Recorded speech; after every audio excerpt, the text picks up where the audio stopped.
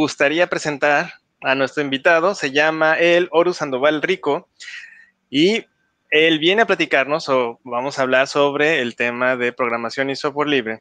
Y él es un arquitecto de software, según un quiz de BuzzFeed, según él, yo estoy presentando lo que él me ha comentado, ¿verdad? Y, este, y también él comenta que más bien él sabe leer y escribir. Eh, y que oficialmente es licenciado en artes visuales, ¿no? Entonces, qué eh, bueno! Es de mi equipo. Eh, creo que ahí pueden tener este, algo, algo en común muy interesante. Y bueno, actualmente él es el CTO de Carpathia Lab y ya nos, ya nos comentará qué, tiene, qué relación tiene con report o reportnow.com.mx. Bueno, sin más por el momento, no sé si quieras que iniciemos ya directo, este, ¿sí? Como quieras, si quieres la meta de una vez. Eh, bueno, pero ya diste la introducción. Ah, sí, no, entonces, bienvenido, señor Horus, ¿cómo está? Hola, ¿qué tal? Este, pues bien, aquí eh, trabajando con algunas emergencias de, último minuto, como suele suceder, pero pues eh, estamos aquí ya atentos y, y chambeando, ¿no? Este, preparados para esta charla. Oye, me encantó tu biografía, ¿eh? Voy a aplicarla de, de acuerdo a un cuestionario BuzzFeed. Yo no lo he hecho porque solo hice uno de qué hamburguesa eres y, me decepcionó, pero qué bueno que, a ti sí te salieron bien las cosas, te felicito. Acá tenemos ya un comentario, mira. Coyulster dice artes visuales arriba. claro. Y los NFTs. Yo, siento que no aprendí a programar bien hasta que no leí a Humberto Eco y hasta que no aprendí de estética. Así fácil. Y también este, cabe señalar que la frase original es que soy arquitecto de software según una encuesta del Cosmopolitan, pero dijeron que eso era demasiado viejuno. No, pues ya casi me dices de, acuerdo a vanidades, de acuerdo al Sol de México. No, bueno. Aquí andamos, ¿no? Ay, qué maravilla. Pues yo los dejo echar chal, regreso, pero voy a voy a compartir a todos los grupos, sobre todo los de software libre, y regreso con ustedes. Perfecto. Muy bien, Alina. Oye, Horus, pues cuéntanos. Eh, tienes un framework de software libre y ahí está en tu playera que es Hanumat. Sí. Eh, cuéntanos de dónde viene, qué onda con eso, este, ¿por qué hacer un framework de software libre? Bueno, este, las razones, yo creo que siempre, siempre las razones de hacer algo es la necesidad, ¿no? En algún momento teníamos un proyecto que se nos estaba yendo de madre con, con, este, con los tiempos de entrega. Eh, no había como un framework que, este, que, que, hubiéramos integrado cuando yo, me, cuando yo empecé a trabajar en, en Carpathia Lab.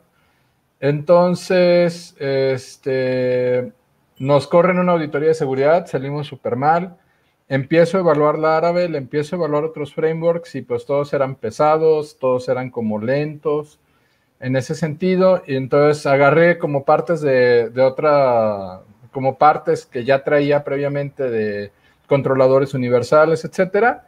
Y pues creo que la, gracia de esto es que se logró, entre mi equipo y yo, se logró un framework muy ligero, o sea, de 200 tantos este, megas que te pesa el Laravel o, u otros frameworks, pues nosotros corremos en 488K, todo el código pesa 480K, lo cual es muy, muy, muy ligero.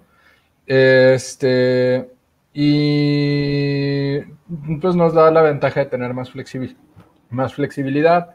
Y luego, pues yo soy chamaco rebelde, entonces a mí no me gusta que me pongan muchas reglas y una de las características o de las ventajas que te da Hanumat, pues es la, flexibilidad, ¿no? Te, deja trabajar como de muchas maneras y al final, este, el costo de inversión que nos llevó este, desarrollar nuestro, nuestro framework, pues se recupera en el sentido de que ya los, los CRUDs o los ABCs, depende de qué tan viejo seas, pues se desarrollan en 10 minutos, ¿no? O, puedes hacer extensiones muy complejas, pero con tiempos de desarrollo muy reducidos y además le, le incluimos su función de seguridad, que normalmente este, fue lo primero que nos reventó con, con el modelo MVC que habían trabajado antes. Fue el primero que reventó, ¿no? Los, la seguridad de los SQL injection, este, eh, la explotación de que de que agarraban y te hacían este te hacían ataques de, negación de servicio, nada más con consultar una página ya hacías como 20 mil cosas, ¿no? Laravel es lo que tiene.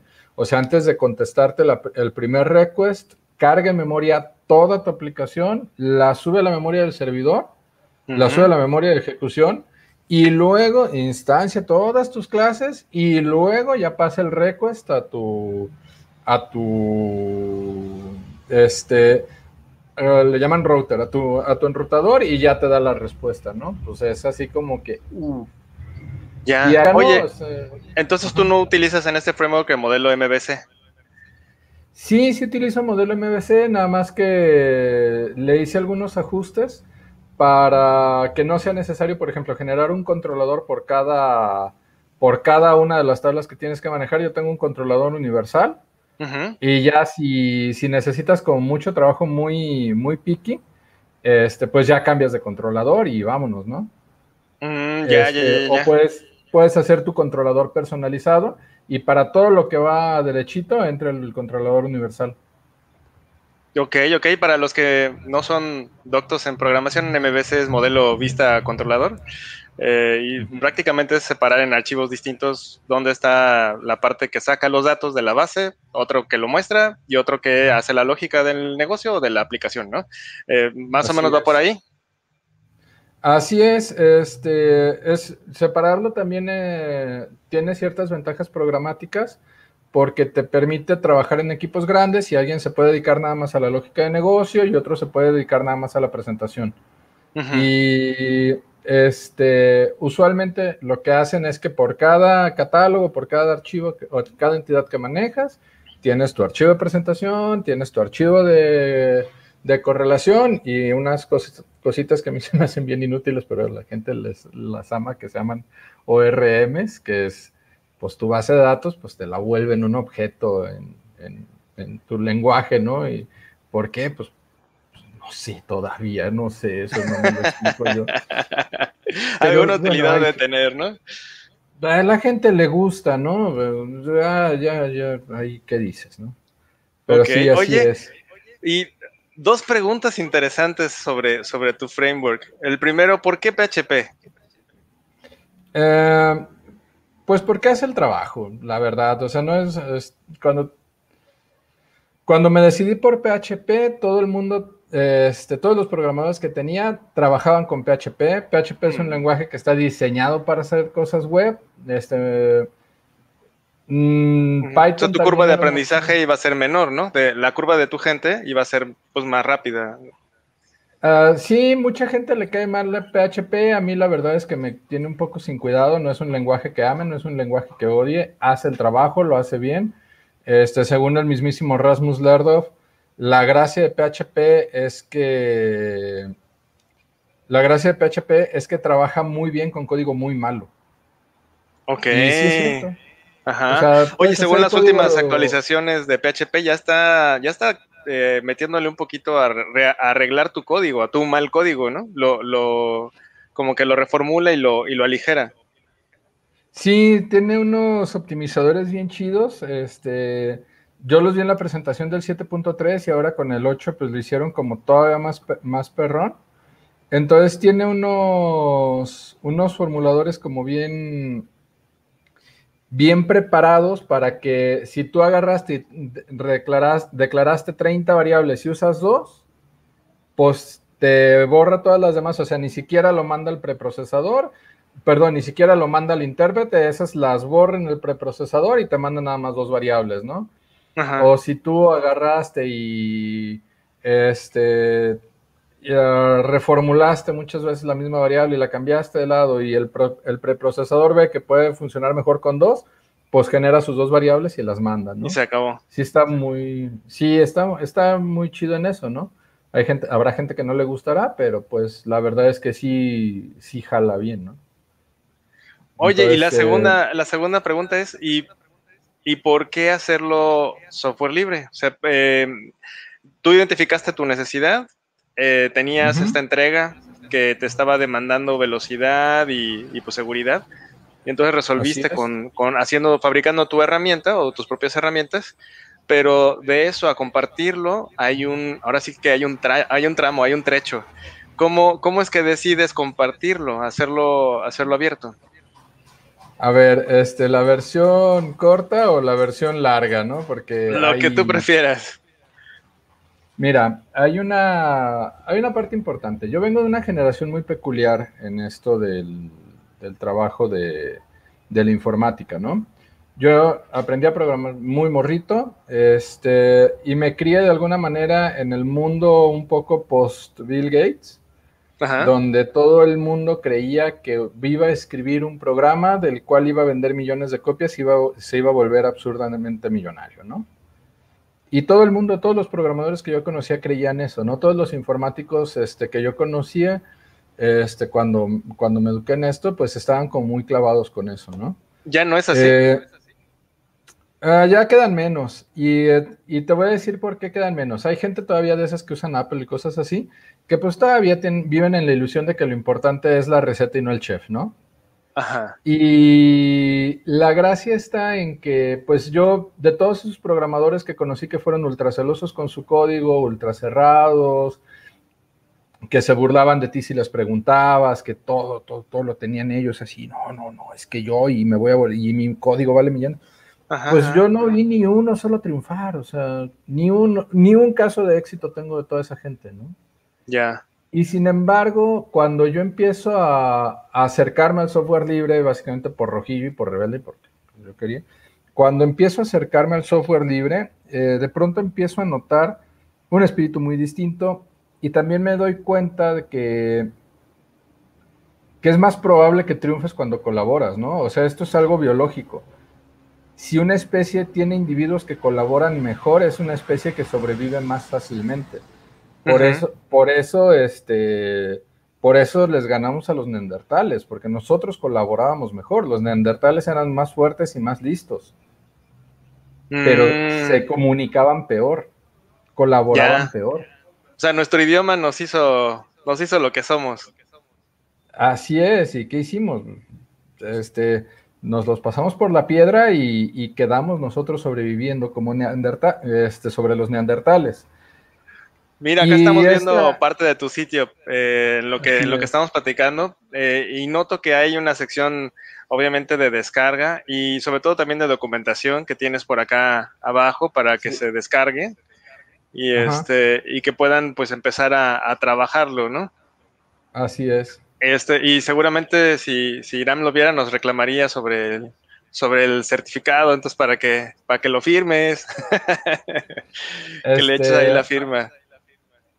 Sí, lo voy a firmar, no voy a hacer que los hackers puedan acceder a información públicamente disponible, ¿no? que vayan a interceptar el flujo de datos y digan, no, mira, un framework, vamos a descargarlo, es ultra secreto. Yo también hay que... Por eso no lo tengo firmado, ¿no? Es este...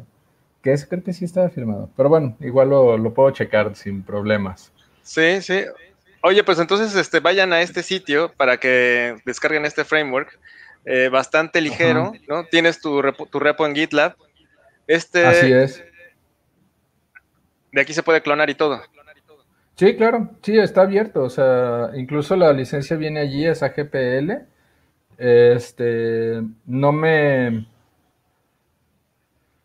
Este, no me quise poner como muy picky de que, de que, ay, no, es que sí puedes hacer ciertas cosas. No, pues si vas a hacer algo libre, hazlo totalmente libre, ¿no? Este, no todo el software que hago es o puede llegar a ser libre, pero pues lo que sí puede llegar, pues que sea bien libre, ¿no? Ya. Este pero, ¿qué significa a grandes rasgos que sea GPL? O sea, para los que nos están viendo es qué pueden hacer con tu framework y qué no podrían hacer con tu framework. A grandes rasgos. Básicamente, pueden hacer lo que quieran, no pueden volverlo privativo en algún momento si lo modifican. Ok, o sea, no pueden licenciarlo y venderlo como propio. Ah, exacto. Ni pueden cambiarle una, ni pueden reducirlo a una licencia menos permisiva si se basan en ese framework. Pues, pero de ahí pueden hacer su, su, producto, su servicio y pueden echarlo a andar. Exacto, pueden echarlo a andar y conservan sus cuatro libertades, este, pueden utilizarlo sin restricciones, pueden modificarlo, pueden este, subir ahí cosas, etcétera. Esa es la, la única La limitante de GPL es que no lo puedes volver privativo luego. ¿Cuánto, cuánto tiempo? Eh, veo que aquí el último update de, en este repo es de dos años. tú me comentaste que hoy estabas liberando otro cambio, una actualización, pero ya cuánto tiempo tienes trabajando en este, en este framework? ¿Ya, ¿Ya cuántos años tiene Hanumat? Dos años, tres meses más. No, como tres años. Lo que pasa es que lo o sea, tuvo la nobleza de desarrollarse muy rápido. Ajá. Este, y eso y eso pues lo volvió muy... Eso lo, nos ayudó a que fuera como más accesible, ¿no? La verdad ese repo lo traigo, un poco descuidado. No ha habido muchos cambios tampoco en el código, ¿para qué te, para qué te miento? Este, cuando me decidí a hacer como la liberación en el, Festival de Software Libre, agarré los, este, agarré como la, lo, sí que, ahora sí que lo mejor que tenía y básicamente de allí a hoy, pues nada más le he arreglado algunos bugs y yo creo que en una próximos días, próximas semanas, en cuanto tenga tiempo, pues lo saco y lo, lo pongo a correr, ¿no? Ya para que lo tengan ahí, este, ahí disponible. ¿Quiénes están detrás de, de Hanumat? Eh, eh, ¿Principalmente eres tú el, que, el mantenedor? Sí, lo que, la verdad es que este, si hay alguien trabajando también en Hanumat, no lo conozco muy bien. O sea, conozco, conozco otra gente que están haciendo sus proyectos con Hanumat, este, gente que ha trabajado conmigo y que le ha gustado y que ha seguido haciendo chambas con Hanumat ya, ya después. Pero la verdad es que, pues somos yo y mi equipo de trabajo en Carpatia, ¿no? Este, que, más bien dicho, mi equipo de trabajo en Carpatia y yo, que es lo correcto para estructurarse en español. Este, somos los que, los que estamos detrás, este, le tienen alguna, algo de miedo todavía este, las programadoras a meterla a Hanumat, pero pues ya empiezan a, hacer sus pequeños aportes, ¿no? Nada más tengo que, como, como de costumbre, pues tengo que limpiar y preparar mis commits para subir los cambios, ¿no? Ok, oye, oye, Horus, este, hay, hay un tema por ahí que, que se ha estado trabajando o que se ha platicado mucho en, la comunidad de software libre y no en toda la comunidad, en ciertos sectores de la comunidad de software libre. Y es este, la parte de el SAS. El SAS como un enemigo este, que cuarta tus libertades, sobre todo de la privacidad de datos, ¿no? Y por SAS, para los no, para los no doctos, para los que nos están eh, como que siguiendo la pista apenas, es el software como servicio, es aquel que no instalas en ninguna de tus computadoras, sino que como casi cualquier red social, eh, pues terminas usándolo de Internet, ¿no? Eh, ¿Tú qué opinas acerca del SaaS y el software libre? ¿En realidad ¿se, vale, se vale brindar servicios SaaS? ¿Es en realidad un enemigo para las libertades de la información? ¿O, eh, ¿O cuál es tu lectura acerca de, esto?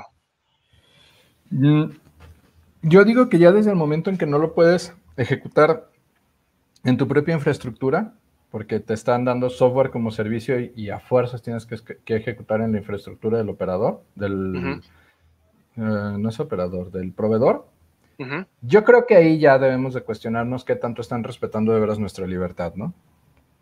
Si luego le seguimos con la parte de, este, ay, es que, es que sí, o sea, puedes usar el software, pero lo vas a guardar en mi base de datos y lo vas a utilizar con mis reglas, pues no hay libertad allí, o sea, pues sí lo puedes utilizar, pero la información se la estás entregando al proveedor, o sea, no tienes ningún tipo de privacidad.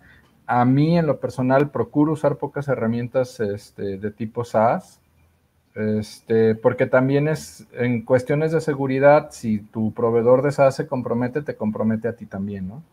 Entonces, este, no, yo no he visto en la comunidad de software libre opiniones favorables hacia ese tipo, porque también, como todo reside en el proveedor, pues tampoco es que puedas tener la libertad de modificarlo, ¿no? O sea, de, agarrar y decir, ah, pues sí, este, voy a agarrar, por ejemplo, MongoDB y le voy a meter mecánica a Mongo, ¿no? O, te, ahí te tienes que meter en una licencia súper complicada o Firebase, ¿no?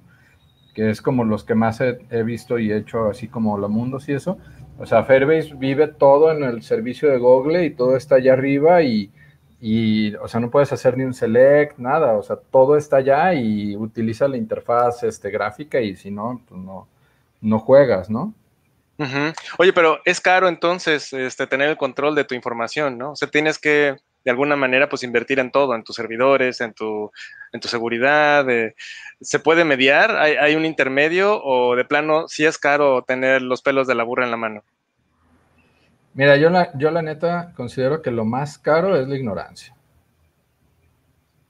Porque, o sea, caro en tener tus servidores, pues sí, pero puedes agarrar y puedes rentar este, puedes rentar servidores privados. Está Subutai de, de este de Perro Loco HAL que te permite este tener tu, tu, cómputo, tu cómputo de nube, pero pues sobre estructura libre, ¿no?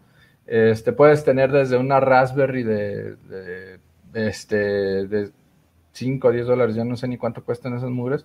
Puedes tener una Raspberry conectada en tu modem de Telmex y tienes un servicio ahí confiable, ¿no? Además tienes que saber hacerlo y para saber hacerlo, pues tienes que chutarte el manual, tienes que entender un poquito de informática y dedicarle tiempo y lo haces, o sea. Claro. Entonces, lo que te sale caro es la ignorancia, ¿no? ¿Por qué la gente consume servicios de, de otros? Pues porque, pues porque no sabe cómo resolverlo ellos mismos, pero este, no necesitas, por ejemplo, no necesitas un servidor de 30 cores para, para trabajar con eso, ¿no? Ok, ok. Oye, y eh, siguiendo con esta, con esta lista de, de, polémicas de, desarrollo, eh, ¿open source o software libre? ¿Cuál es tu apreciación acerca del open source? Fíjate o de código abierto, ¿no? Hay una, este, el ahora muy denostado Stallman, ¿no? Eh, lo decía muy, muy bien, ¿no? O sea, el pedo es que se confunde, ¿no? Hay gente, hay jovencitos confusos que dicen, es que open source, open source, open source. Y no, carnal, o sea, espérate, o sea, no, open source es distinto. Que te dejen usar el código no quiere decir que seas libre de cambiarlo. Ni quiere decir, o sea, está la licencia de React, ¿no? Que en sus principios, no sé si ya la hayan cambiado, pero en sus principios todo lo que escribieras con React le pertenecía a Facebook. Entonces, mm. sí, no, sí, ahí está el código, ahí lo puedes ver, sí, pero en la licencia no te dice que lo puedes cambiar, que puedes hacer modificaciones, que puedes redistribuirlo, que puedes redistribuir tu producto basado en ese código. Este, y pues sí, o sea, pues luego los jovencitos confusos como que dicen, ay, no, es que este va por allí, y pues no, no va por allí, ¿no? Este, tienes que tienes que aprender a cómo, a, notar esas diferencias y obviamente, o sea, también depende de lo que vaya con tu, ahora sí que con tu forma de pensar. En mi caso, pues yo soy bien rojillo y yo, yo le voto por el software libre, ¿no? Y le, le voto por, por, tener esa libertad de, de, de, hacer las cosas y de que no me esté limitando una licencia, etcétera, etcétera, etcétera. Este, pero por otro lado, este, por otro lado, pues habrá gente, habrá jovencitos confusos de derechas que digan, no, no, no, es que me voy a volver millonario. Pues spoiler alert, no pasa, este, o sea, te vuelven te vuelves millonario haciendo negocios, sabiendo hacer negocios. Y si no sabes hacer negocios, pues no te vas a volver millonario, ¿no? Y además el capitalismo miente siempre. Vamos muy claros en eso. Este, y podrán ellos decir que no, que lo chido es el open source. Y no, o sea, hay que admitir algo. Ahorita vivimos en una programación, todos los programadores de 5 o 10 años para acá son programadores gracias al software libre, no al open source. Mm. Y estás como patear el pesebre, patear el pesebre, ¿no? Que, que, luego digan que el open source es software libre y que lo confundan. No, o sea, están ¿Se, vale hacer negocios con el software libre? Claro, claro que se vale hacer negocios. Es, yo creo que de los primeros mitos que se me cayeron, porque pues yo vengo del mundo acá capitalista y la chingada, este, y uno de los primeros mitos que se me cayeron fue que no, o sea, pues hay gente que hace negocio con software libre. O sea, el software libre, este, lo dice muy claramente, ¿no? Es libre. En inglés es free, que se, que se confunde como free as in beer o free as in freedom, ¿no? Y no, es free as in freedom. Y yo puedo cobrar por hacer software, software libre y puedo venderte software libre. La diferencia está en el respeto que tengo hacia tus derechos y hacia los derechos de los demás. Pero nada me impide, o sea, en algún momento, nada me impide que yo agarre y te venda un software libre, ¿no? Nada me lo va a impedir. Me lo va a impedir. Ok, Horus. Oye, también he visto, eh, porque obviamente te sigo en Twitter, este, también he visto algunos tweets acerca de eh, idiomas, de em, la parte de programación con eh, o entender en, la, en los sintaxis de programación en tu idioma qué es lo que estás haciendo. ¿Cuál es tu, cuál es tu, ahora sí que cuál es, qué es lo que tú estás este, intentando comunicar o decir con esto? Eh, ¿Cuál es la barrera a la que nos enfrentamos en ese sentido? Mira, allí es, una pregunta que bueno que me la haces. Este, todo el mundo dice, no, el lenguaje más importante que debes de aprender para programar es inglés. Y yo hablo inglés, no me siento orgulloso, pero yo hablo inglés. Este, ¿dónde está, dónde está la bronca con esto, no? ¿Dónde está la, la bronca que se maneje esa, esa situación de, del lenguaje tan importante del inglés, ¿no? La bronca allí es que sí necesitas saber inglés porque toda esa tecnología fue desarrollada por angloparlantes y es una especie de idioma funcional. A mí lo que me molesta de esa gente anglófila es que es, tiene más que ver con preceptos de colonialismo. Y sí, o sea, es importante que puedas leerte un manual en inglés. O sea, sí, yo leo un chingo de manuales en inglés. La bronca es que te dejes colonizar por, por la vía de la lengua, ¿no? Que, que violen tus derechos lingüísticos. Porque el que piensa en un, el que habla un idioma piensa en ese idioma y mm. trabaja sus ideas desde ese idioma. Entonces, este, que tú, que a ti te vendan la, idea de que todo lo tienes que hacer en inglés, el inglés es además una lengua bien limitante, este, es una lengua muy agresiva, lo, dicen que, ¿cómo se llama una persona que habla muchos idiomas? Este, pues políglota, ¿no? ¿Cómo se llama una persona que habla dos idiomas? Pues bilingüe, ¿no? ¿Cómo se llama una persona que nada más habla un idioma? Angloparlante. no necesita otro, ¿no? No, hombre, no puede aprender otro. El doctor Tugi debe de estar encabronadísimo conmigo, porque es un gran investigador de, de náhuatl.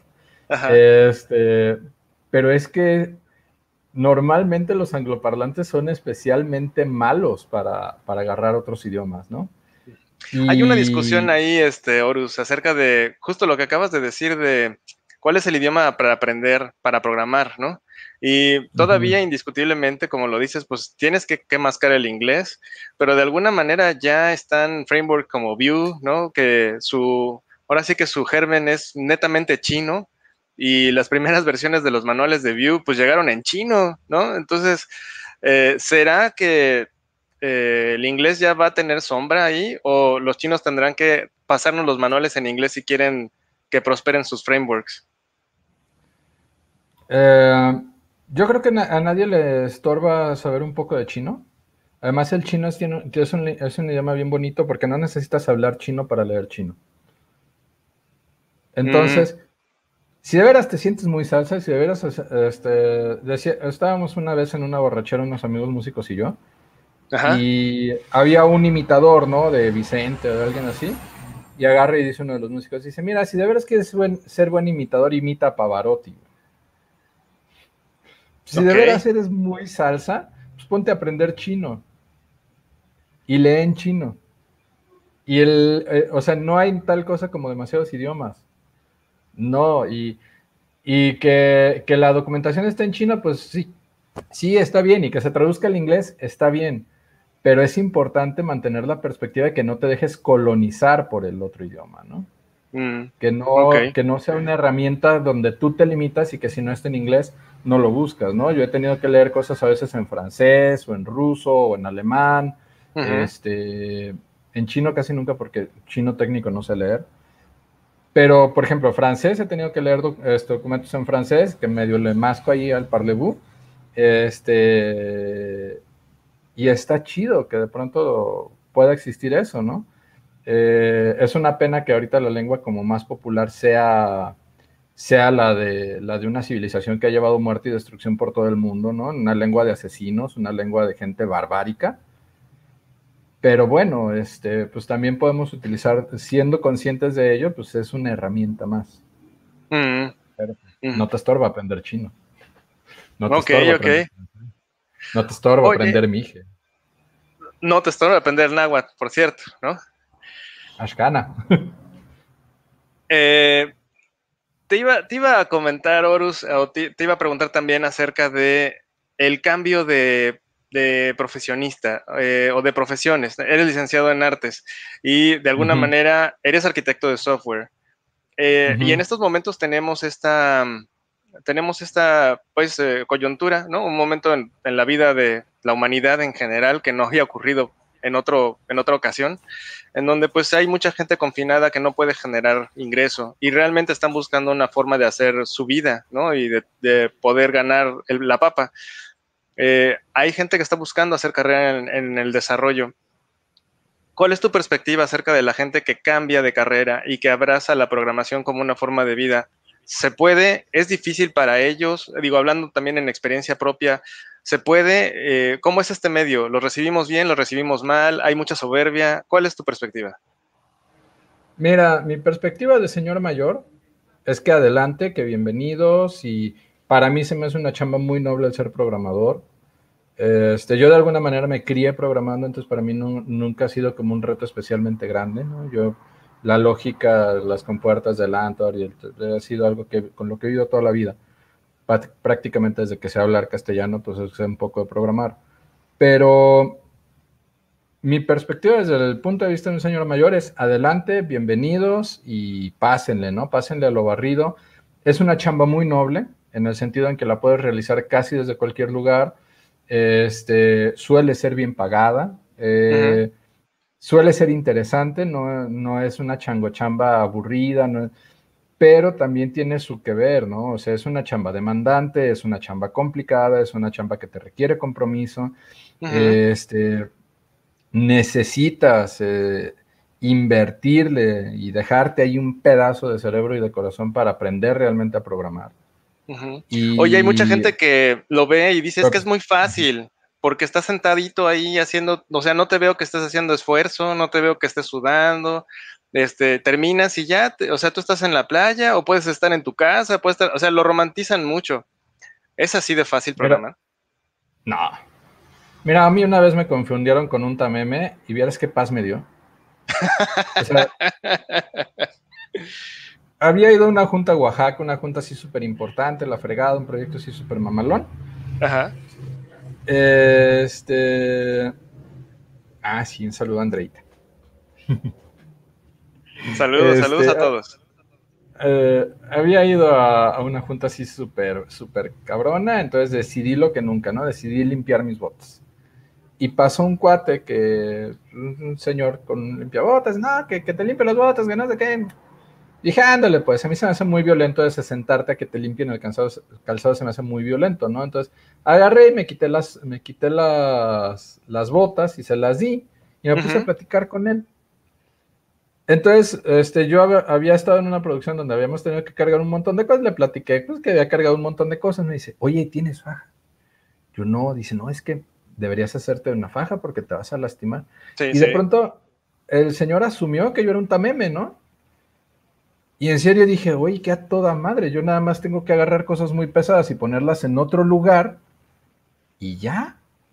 Terminé con mi trabajo no tengo que desvelarme, no tengo que preocuparme, no tengo que modelar objetos. oye, Horus, pero déjame, déjame te doy la, la, contra. Sí, déjame te doy la contra. Para el cliente, lo único que tienes que hacer es dibujar un botón y ya. Exacto. Y, seguramente los tamemes dirán, no mames, este güey se la pasa todo el día sentado, está con madre. Exactamente. este, todo tiene su esfuerzo. Este,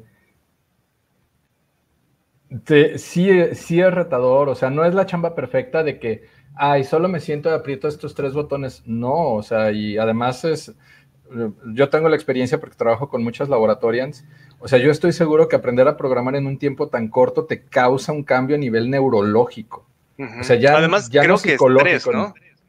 Sí, o sea, es una cantidad de estrés absoluta.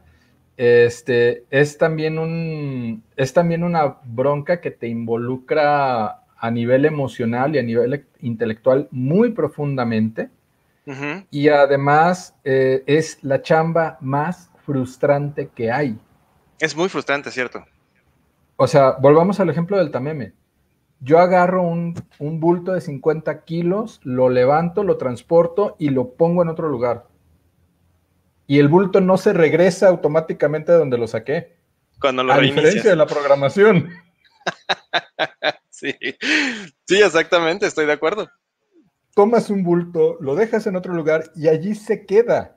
Ajá. Pero, o sea, cada, cada botón que han cada botón que cada, cualquier usuario de informática que ve jalando en el, en el mundo es algo que un programador lo vio fallar 900, 930 veces antes Ajá. de que jalara la primera vez. Antes de que luego pasara a producción. Para que en producción No, falle otra vez, güey. para que en producción tengas un entorno distinto y vuelva a fallar, ¿no? Claro, claro. Entonces, Oye, me eh, gustó, me ajá. gustó esta participación de Andrea, en donde dice que también nutre traer gente de, con otra manera de ver. ¿Sentiste esto? Eh, ¿has, este, ¿Has experimentado esta parte de enriquecer la visión, eh, pues ahora sí que académica de los informáticos con gente que viene de otras áreas? Uh, sí. Nada más, nada más bonito de- que trabajar con gente de conocimiento transversal, ¿eh? Mm. Nada más bonito que eso. Este, los de- tenía un amigo médico y los ingenieros están en mi caso. Él decía que los médicos son los- la persona más ignorante del mundo porque solo sabe de medicina. Y Mm. los ingenieros puros tienen broncas porque solo saben de ingeniería. Y la diferencia entre, entre ahora sí que yo me, me cuelgo esa medallita de arquitecto de software es porque yo no solo sé de ingeniería, o sea, yo sé de arte, sé de modelar, sé de cultura, sé de, de entender un problema con toda la complejidad y con aristas que están fuera de la computadora.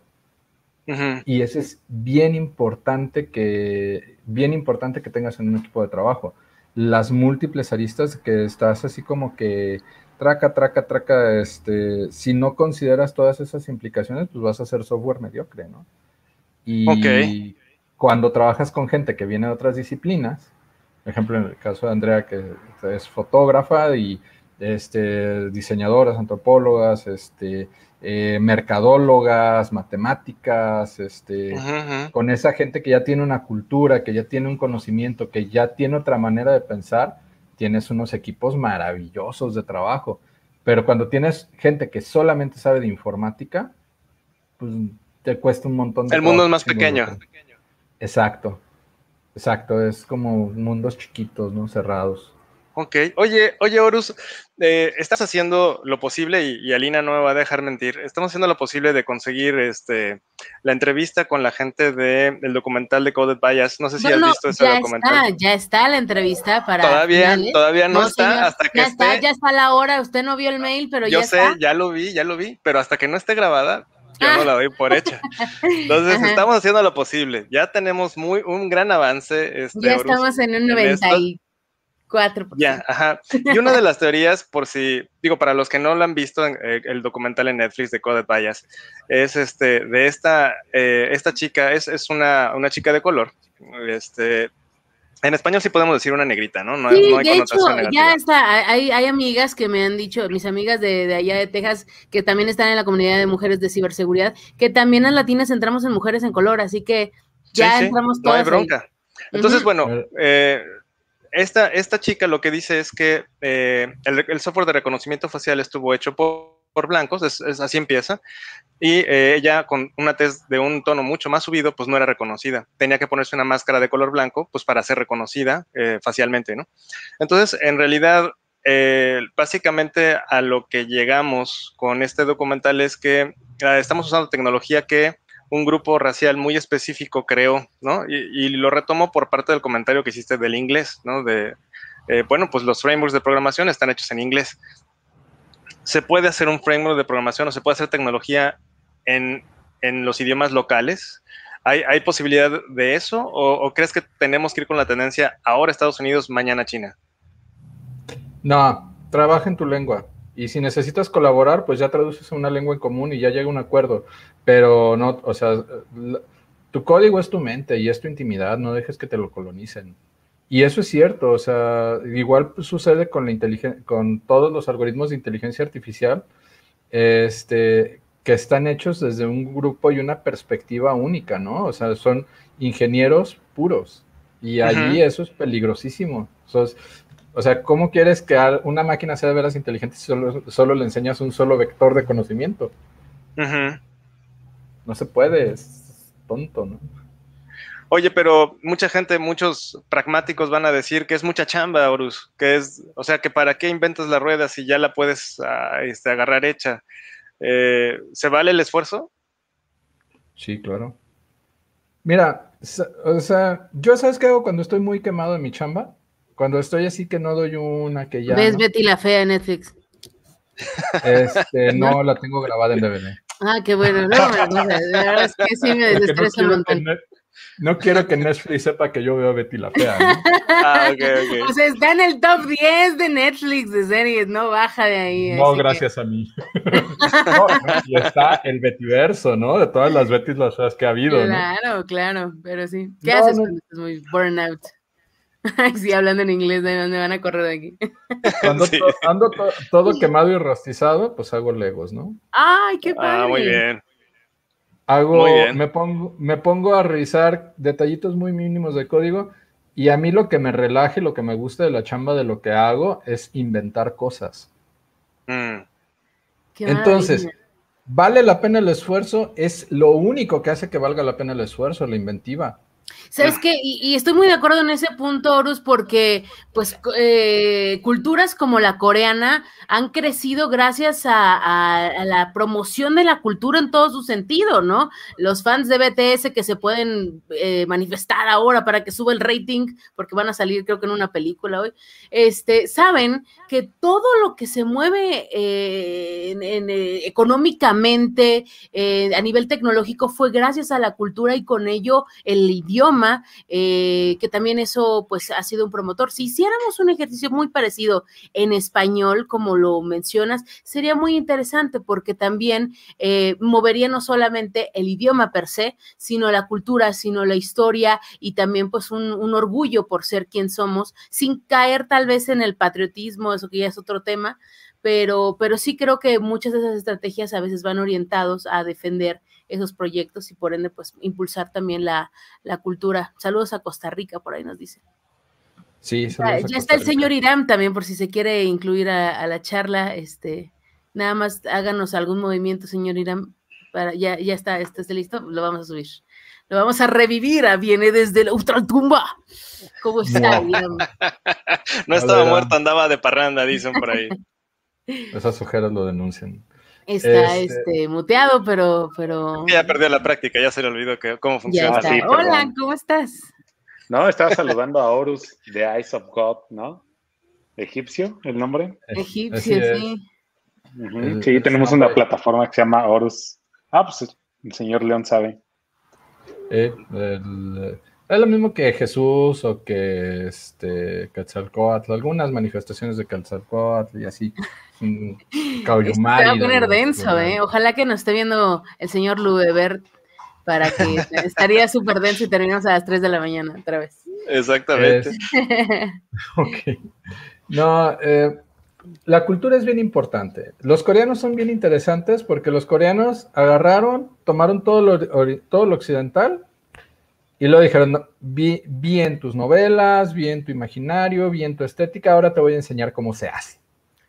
Y ahí están los doramas. Y los doramas son maravillosos, son quirúrgicamente hermosos, tienen una estética perfecta en, todos los sentidos. Su técnica parece occidental, pero tiene un una perfección oriental que no le llegas, ¿no? No le llegas. Entonces dices, oye, pero yo tenía esto, yo había, yo había ponido mi cultura aquí, sí, pero llegó el oriental y te dio la vuelta y te mostró algo súper cabrón, ¿no? este, lo que pasó con China, ¿no? O sea, China dijo, a ver, ¿tú cómo produces? Ah, Eh, ajá, a ver. Eh, eh, eh, dame chance, no déjate muestro cómo se hace, ¿no? Y lo vemos con el anime de los hombres X que están en Netflix, ¿no? O sea, los gringos intentaron hacer una animación totalmente funcionalista, totalmente este, apegada a los principios del capital y en un producto cultural que funcione. Y llega el anime que acaban de hacer los japoneses y es precioso y está súper bien hecho y le dieron la profundidad a la trama adecuada, no, es no está nada infantilizado. Y eso tiene que ver con respetar tu cultura. Pero eso decía Molotov, ¿no? Fuimos potencia mundial. ¿Qué nos, ¿En qué nos falló? Ya estoy hablando como, como Víctor Trujillo. Pero, ¿qué nos, ¿qué nos pasó? O sea, que, que, en dónde nosotros sí podríamos haber tenido esa, esa área de oportunidad, porque fuimos potencia en algún momento de telenovelas, fuimos potencia en algún momento de, de producciones. El milagro eh, mexicano, Alina. Claro, y después, ¿qué pasó en, donde, en esta área tecnológica donde puede haber ese, ese chance de crecimiento? Porque somos admirados en el sector de ciberseguridad, eh, por, por, muchas eh, culturas, porque con un cablecito, y ahí está la cuenta de técnicas de pobreza, síganlo en, Instagram, que podemos resolver cualquier cosa con dos alambres y un gancho, ¿no? Sí. en, dónde está el área de oportunidad, Horus, para, para nosotros? De hecho, déjame, déjame también revolver un poco más tu pregunta, Lina, para que Horus tenga un poco más de tela de dónde cortar, digo, aprovechando que lo tenemos con nosotros. Eh, tenemos estos ejemplos de calidad total este, japonesa, ¿no? Eh, a, este Deming con esteroides que ellos se apropiaron y sacaron la calidad total en todos los ámbitos de la humanidad, etcétera, etcétera, en todos los ámbitos del proceso. Y tienes también la aproximación china de no importa cómo salga, pero el chiste es que hagas un chorro, ¿no? Este, tú prodúcelo, güey, y ya vemos después. Entonces, no importa cómo salga, y así su familia también. Ah, bueno, yo no tanto, ¿verdad? Pero más bien, ok, sí. Pues, pues mira, eh, ¿Quién ganó? ¿Qué, cuál, es el, ¿Cuál es la perspectiva que deberíamos de tomar? Porque a los mexicanos se nos tacha de que eh, somos mal hechos en algunas ocasiones, ¿no? Inventivos, como dice Alina, pero de alguna otra manera no somos alemanes, no somos perfeccionistas en, las entregas. ¿Qué aproximación podría ser la, correcta? ¿Calidad total o sacar la chamba? O sea, ¿cuál, ¿qué está pasando con el mundo ahora, Horus, desde tu lectura tecnológica? Ah, pues mira, toda tecnología, este, toda tecnología debe evolucionar hacia la biología. Así de fácil. ¿Hacia la biología? Sí, o sea, es bien fácil. O sea, ¿qué, qué pinche máquina más perfecta quieres que un bosque? Lo alimentas, ah. todo es energía solar. ¿Cuánta energía procesa el bosque? Toda la vida que produce, toda la información que produce y procesa un bosque y con unas con, con unos índices de con, unas pérdidas de eficiencia mínimas, todo se reutiliza en un bosque. Si lo ves desde un enfoque tecnológico, este, pues la estamos gerrando alejándonos de, la biología, ¿no? Tenemos que reconsiderar la biología. Y la biología también hizo las dos cosas, ¿no? O sea, tienes especies como los insectos o las cucarachas que tienen miles de hijos, pero miles de hijos y algunos sobrevivirán. Y nosotros, y los humanos, que tenemos un cerebrote así enorme, pero básicamente no somos, no somos seres funcionales a nuestra especie hasta los veintitantos años, ¿no? O sea, y eso a veces. Y eso a veces, ¿no? Porque además esa fecha se va haciendo más, más alta y más alta, más alta, ¿no? Este Ricardo Moure, un biólogo español, establece que habiendo hecho estudios detallados, nuestros infantes, o sea, nuestros bebés, son básicamente abortos de chimpancé. O sea, no, deberíamos pueden valerse por sí mismos, ¿no? Deberíamos de nacer con tres años. Y sin embargo, para que pudiéramos caminar más, tuvimos que cambiar nuestras caderas y como ya no podíamos parir crías tan grandes, pues ¿qué hicimos? Que abortamos antes y entonces desarrollamos tecnología para cubrir nuestros abortos de cría lo suficiente hasta que llegaran a los tres años y pudieran ser unos seres más o menos funcionales a la especie. Y se desarrolla la monogamia, Horus, ¿no? eso es otro mito, ¿no? En realidad todo, en realidad el ser humano está diseñado para ser poliándrico y no va, este, no, no están preparados para tener esa conversación. No, sí eh, estamos. Acabo de ver un estudio de que decía que, a las ratas, eh, a una rata macho le ponían, eh, creo que cinco o siete ratas en celo y que después se aburría, después iba con otra rata. Entonces, que bueno, eso era como de los estudios más nuevos. aprovechando, quiero hacer un comercial. ahorita que Horus habló sobre eh, el bosque y los desperdicios que nosotros generamos. Eh, he estado siguiendo esta, este, esta iniciativa, se llama Precious Plastic. Eh, si no la mm. conocen, conozcanla de verdad. me preocupa mucho la generación de plásticos que tenemos y el desecho que se está generando. Y ellos lo que están haciendo es una aproximación, vamos a decirlo como un poquito open source, open hardware, eh, porque ellos se investigaron cómo triturar el plástico, entonces te dan los esquemas para que armes tu trituradora y para que armes las máquinas que pueden, eh, pues, moldear plástico a partir de estos desechos. Entonces, Open Hardware eh, es, un, es un proyecto, pues, ya mundial y tú puedes conectar y entrar a esta página que se llama Precious de Precioso Plastic de plástico.com y pues puedes descargar todo y eh, pues montar tu taller de, pues ahora sí que de, reciclado de plástico, que es algo que se está comiendo al planeta, digo, como, como nota al calce sobre el comentario de, del buen Horus. Este, pero bueno, eh, regresando, regresando al, tema principal, eh, el futuro, Horus, ¿qué, ¿qué crees que venga en tecnología en software libre? Ah, pues este es difícil saber todavía hacia dónde más vamos a ir, porque ya está, el software libre está en todos lados. Todo el mundo es usuario de Linux, aunque no lo quiera. Todo el mundo guarda información en algún servidor que seguramente está en Linux. Eh, es un futuro complicado. Este, creo que más que preocuparnos solamente del software, es un problema integral que tiene que ver con, los sistemas sociopolíticos, con los sistemas económicos, con los sistemas de, administración de, la riqueza. Y creo que mientras más logremos permear transversalmente, ay, qué doctoras me oigo, carajo, chingado, cómo se nota. Va bien, ibas bien.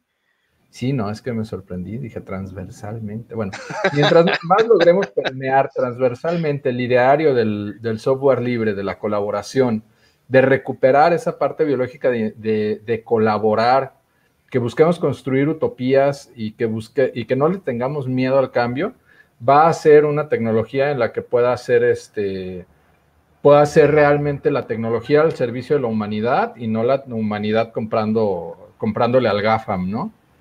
Este, hay, yo, ese mucho entre, entre mi esposa y yo escribimos un cuentito que se llama La puerta a las estrellas. Y es, el cuento critica muy sucintamente que la humanidad llega a un punto en donde prohíbe la industria de la moda. Prohíbe la industria de la moda. Prohíbe la industria de la moda, o sea, es penado con pena de muerte tener una fábrica de ropa. Entonces, lo que sucede es que todo mundo empieza a manejar una tela que es única y tú haces tus diseños, pero tú no puedes vender diseños. Entonces, cada quien se viste como quiere, cada quien tiene una impresora 3D donde puede imprimir sus diseños y los publicas. Y habrá gente que se viste todo igual porque le gusta tu diseño, pero tú no puedes ganar y tú no puedes volver exclusivo ese diseño. Cualquier diseño es por obligación libre. Y la ropa de pronto está hecha de un material que es por obligación totalmente reciclable y totalmente durable. Qué interesante, ¿dónde puedo leer ese cuento? Está muy, pues, suena muy padre. Ahorita busco, busco el link, pero es un ejemplo de, cómo podemos, o sea, de cómo toda esta industria cuasi, esclava que es la, fast fashion, la fast sí, justo eso. que, genera un, que genera un chingo de polución, que genera además un montón de problemas sociales y, y sociopolíticos cabroncísimos, ¿no? O sea, 52 temporadas al año, prendas que te duran tres puestas, pero además necesitas tener trabajo esclavo para mantener esas prendas y además necesitas crear una, una pandemia de dismorfia en tu población para que sigan consumiendo esas prendas, que tus talla 11 sean cada vez más chicas y además generas todo este, todo este consumo alrededor que lo único que hace es que la misma camiseta que te podría costar este 100 pesos o 10 pesos, este, te cueste 5 mil porque trae una, una, marca, ¿no? ¿Y una marca que es? Pues es nada más que un valor, este, un valor cultural, ¿no? Un, valor cultural privativo. Hay este libro del Imperio del Efímero de Gil Lipovetsky, que, justamente critica todo eso. Entonces, este, creo que si, si queremos un futuro como especie, tenemos que ir a, esa transversalidad en la, en la, cuestión de la colaboración y la libertad de la información. Este, y, y si no, pues no, no será, o sea, no habrá futuro, ¿no? Este, no habrá utopía. Yo creo que en esa medida muchos ya nos dimos cuenta eh, al estar en casa que todo este tema del show off, de presumir, si ya no vas a la oficina, pues ya no tienes que poner los taconzotes ni llevar la bolsota, ni, o sea, creo que en ese sentido ahora la comodidad ha avanzado un poco versus el, el, tema de, de, presumir y de definirse a partir de algo, ¿no? Sí, y eso está bien, eso es bien relevante que, entendamos, porque luego hay como mucha crítica, algo que yo critico mucho del marxismo más tradicional, es este desprecio hacia la cultura y hacia, la, hacia los valores, hacia los, los valores que son plenamente pues, culturales, ¿no? Este, intangibles. hacia la religión, intangibles, que o sea, están allí, ¿no? Decía Juan Ignacio Delgado, o sea, hay una partecita que es así de chiquita de la realidad que puedes comprobar. Pero el resto, lo que necesitas para ser un ser funcional es el discurso, ¿no? Y el discurso tiene valor. Y el hecho de que, de que también desacralicemos ese valor en el discurso y sepamos que está allí y lo utilicemos como una herramienta de cambio social, es la, es la manera y eso también es tecnología, porque tiene que ver con lenguaje, tiene que ver con la distribución por medios, tiene que ver con producción de contenido, tiene que ver incluso hasta con los algoritmos que permiten que ese contenido vaya a un lugar y a otro no. Entonces, todo eso es tecnología y es además una tecnología bien transversal, o sea, bien interconectada para una aplicación real. Sí, claro, yo creo que de manera personal igual y no sé qué tan qué tan segura estoy de compartir esto, pero en los últimos meses pues eh, vivimos una situación muy delicada de, hospitales y casi no trabajé. Me daba muchísimo miedo a mí el, caer en la pobreza, ¿no? El, el decir de qué voy a vivir. Eh, pero a fin de cuentas, eh, me di cuenta también que, que, estaba entregando ciertos valores como mi tiempo hacia alguien que pues finalmente murió, ¿no? Y para mí ese conocimiento fue valiosísimo porque mientras yo siempre pensaba como en producir y en ganar y todo el tiempo estar como muy obsesionada con eso, cuando me di cuenta de que el mundo no se cayó si no tenía dinero o que generé, digamos, otros ingresos por otras vías, eh, fue un conocimiento súper, súper valioso dentro de un mundo pues, en el que me desenvuelvo que es prácticamente tecnológico, ¿no? Entonces, eh, y con ello, pues evidentemente va relacionado el consumo. Pero pues en un momento como en el que el humanismo está tan, tan fracturado, pues me, gustó mucho tener esa, ese aprendizaje y bueno, pues evidentemente ahorita ya es para adelante, pero bueno, vi que no todo fue tan malo. No somos de cristal, Alina, ¿no? Exacto. Eh, y además, Alina, o sea, primero lamento tu pérdida, este, nunca sé qué decir en estas cosas, no te preocupes. encuentras consuelo.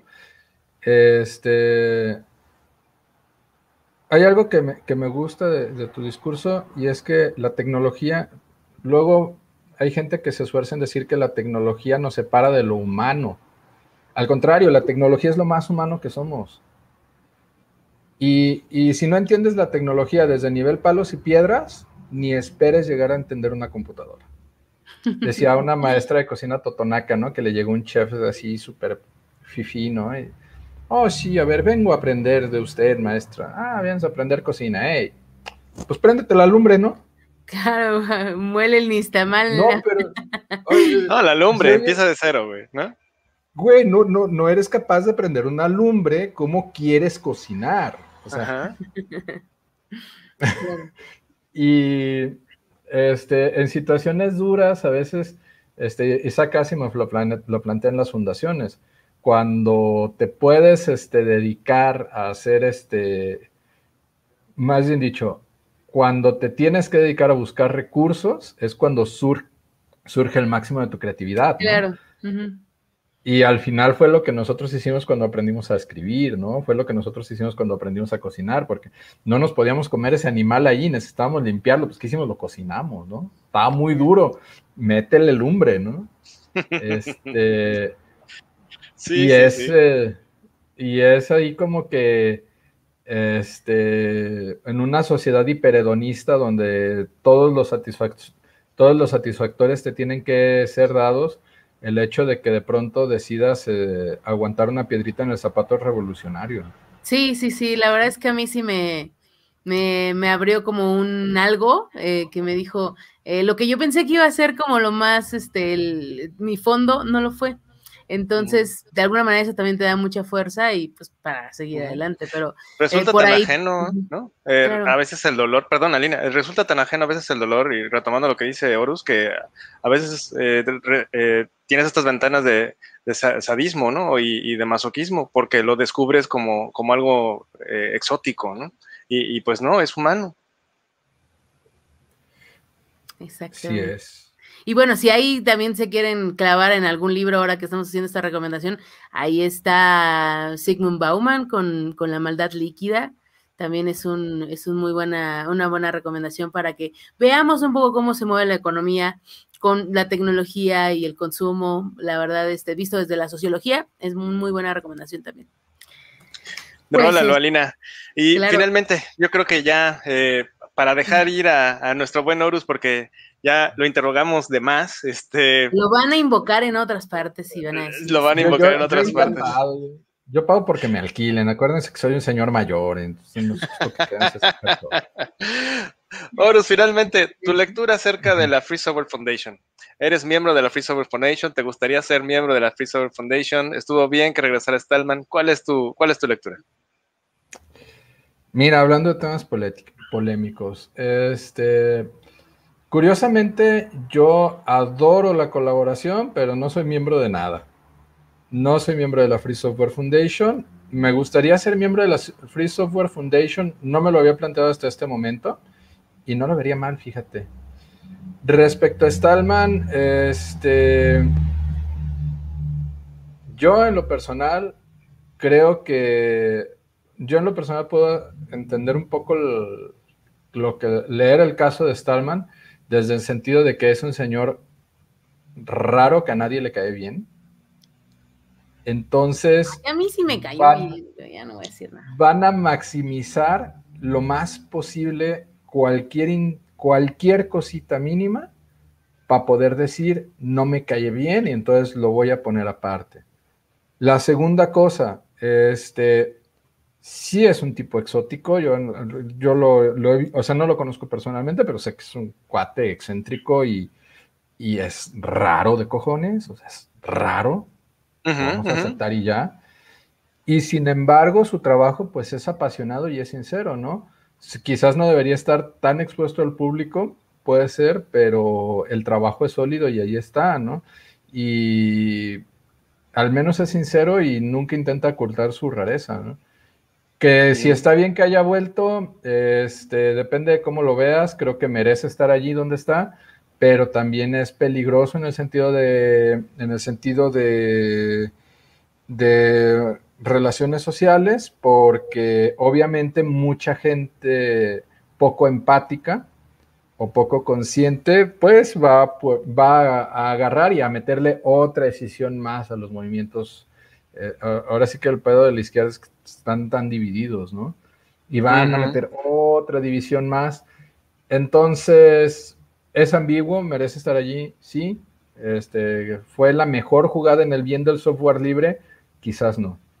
Pero, no sé, o sea, me acuerdo mucho de una, una, lugar a donde iba, este, que eran como muy, este, sí, este, y pro indígenas y pro, pro feminismo, y va, va, va.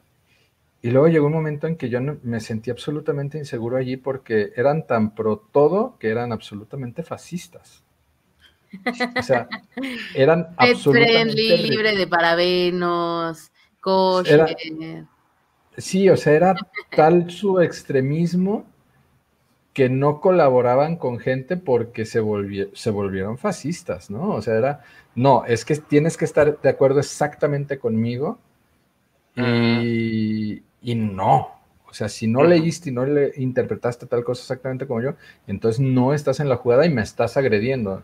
Entonces, pues, o sea, no los voy a atacar nunca públicamente, ni, ni nunca moveré un dedo en contra de ellos, porque además creo que hacen un trabajo valioso dentro de todo, pero simplemente a mí no me hace sentir seguro un lugar donde todo es restricción, ¿no? Entonces, ahí, pues, si lo aplicamos a la Free Software Foundation, pues quizás también deberíamos de reflexionar si no estamos siendo un poquito fascistas de más. Una persona que además evidentemente tiene una condición psiquiátrica, ¿no? O sea, That's it. Este, es funcional, sí. Es raro convivir con él, sí. Pero pues su trabajo está ahí y es sólido y es apasionado y lo hace bien. Tal vez si fuera rockero, todo el mundo justificaría su excentricidad. Porque es que es rockero. si fuera Ozzy Osbourne, tal vez como, ay, pero es Ozzy Osbourne. Entonces yo creo que lo único que le falta a Stallman es como tener un estatus ahí de, de rockstar. Es lo único. Sí, sí, como lo dice Randall, así de, ay, este visitó, visitó Costa Rica, seguramente Randall es de Costa Rica, saludos a la gente de, por allá, este, y dice que usaba un halo en la cabeza, ¿no? Sí, eh, sí, tienes razón, cuando ha venido a México también yo llegué a verlo y sí, pues usaba un halo en la cabeza, y, pero como dices, este, Alina, pues si fuera rockstar, pues diría, sí, pues estuvo padre su concierto. o sea, el performance estuvo bien. o sea, a Marilyn Manson le pasaron 15 mil eh, cosas. Ahora apenas lo están empezando a acusar de, de, eh, sí, de maltrato hacia las mujeres, pero en su tiempo le permitían hacer todo, pues. Claro. Y finalmente, Horus, eh, ¿cuál es la tarea que tenemos la gente de software libre? ¿Qué tenemos que hacer para que el movimiento siga y no solamente siga, sino crezca? A ver, este, yo soy la persona menos adecuada para esto. O sea, yo soy solo un pobre programador que sueña con ser meme. Este, desde mi punto de vista, yo creo que lo que tenemos que hacer es seguir echando código, hacernos más cultos y más listos. Y, aprender, a, aprender a descolonizarnos primero nosotros mismos acerca de que el otro siempre va a tener la razón. En mi proceso personal, yo puedo hablar de mi persona, en mi proceso, ha sido aprender a ganar confianza de, lo que, de que lo que estoy haciendo está bien, quitarme ese síndrome del impostor de que quizás todo es demasiado maravilloso en otro lado. Este, echarle ganas, ningún esfuerzo es, ningún esfuerzo es vano, o sea, así te tardes mil años en solucionar un bug, inviértele ese tiempo, o sea, lo que más nos va a costar es la ignorancia, este, atrévete a hacer las cosas, ¿no? Muy probablemente no tengas éxito, pero pues si no te atreves de todas maneras estás valiendo madre y además no estás aprendiendo. Oye, yo tengo una duda desde hace rato que te quería decir. ¿Tú lees frecuentemente Las Venas Abiertas de América Latina de Eduardo Galeano? Eh, no, leo mucha ciencia ficción y leo mucha ah. fantasía, pero conozco la obra. Ok, no, no, no, lo digo por el tema del colonialismo y bueno, que es un punto de partida de muchas de muchas personas, que sí es un libro muy difícil de leer y que, bueno, es una obra maestra, pero sí pensaba que, tenías alguna referencia en ese sentido. Fíjate que hay un libro que es como mi referencia allí, que no está tan directamente relacionado. Este, por un lado está Tropas del Espacio de Robert Heinlein, acerca de evolución, inteligencia, un poco colonialismo. Por el otro lado está una compilación que hace este Miguel de León Portilla, que es la tinta negra y roja. Este, y la tinta negra y roja te ayuda a comprender muy bien el choque cultural de la colonia que se dio, ¿no? Que son como mis referentes que, agarro así como, como fuertes, ¿no? Conozco la obra de Galeano, sé que es muy buena, soy más cercano a Chomsky o a este, ay, se me fue ahorita el nombre, un cuate de tengo por ahí un libro de, de Palestina y, pues además tengo muchos amigos, tengo algunos amigos que, están como, que vivieron en carne propia, ¿no? Que, pertenecen a comunidades indígenas y que pues también te dan aportaciones valiosas. Pero sí, voy a leer ese de las venas abiertas de América Latina. Uy, no, después ya, y vienes acá y... Y, nos platicas. bueno, dicen que tienes que leer primero las venas abiertas de América, de América Latina y luego la contraparte del libro de Álvaro Vargas Llosa, que es este el manual contra el idiota latinoamericano. Entonces, lee las dos partes. ¿Es igual de facha que Vargas Llosa, que el otro Vargas Llosa? No, bueno, no tanto. No, esto es una cosa más. Eh, centrada, al menos ese libro. Yo ya no me meto en lo demás, pero sí. Pues estaría interesante. También este, también Rius tiene un montón de libros así como buenos respecto a los temas. Y los puedes encontrar en cualquier, eh, como dicen, eh, en la lagunilla, pues, o sea, hay libros de Rius, este, que se pirateen, pues, que se, se muevan. Me gusta mucho Rius. Son absurdamente accesibles. Yo creo que tuve oportunidad de tomarle alguna foto cuando estuve aquí. Sí. Muy bien. Horus, pues la Socamati, que estuviste con nosotros por acá que nos acompañaste, eh, pues ahora sí con esta plática tan enriquecedora y con estos puntos de vista pues tan, tan distintos de repente que no tomamos en cuenta porque nos clavamos en la tecnología y no vemos la dimensión humana que pues precisamente sigue ahí, no podemos alienarnos. Hay gente que sí lo logra, ¿verdad? Pero bueno, esperemos que no todos lo logremos. Este, cuando quieras regresar, aquí está tu casa y este, tráenos ahora sí que a la mesa temas eh, interesantes y difíciles eh, para pues ahora sí que confrontarnos y ponernos a pensar un poquito más, ¿no? Pues amo, amo este, Ashlen, este, es un placer estar este, compartiendo con ustedes, me gusta mucho su trabajo, lo respeto un montón y se me hace bien chido cada que puedo los escucho, este, y, y pues nada, gracias por la invitación. Acuérdense que la tecnología no nos aleja del humano. Si la tecnología no te está haciendo humano, no la estás entendiendo y estás you are pissing out of the hole. estás, estás yendo mal, o sea, si, la si este, y acuérdense mi máxima de toda la vida, la tecnología como la droga, si no la domina, no la consuma. Pues sí, hay todos los, Muchísimas gracias. están todo el tiempo en los videojuegos y así, pues ojo, chavos, también. Sí. Si, no, si no sabes cómo se programó ese videojuego, hay algo raro ahí.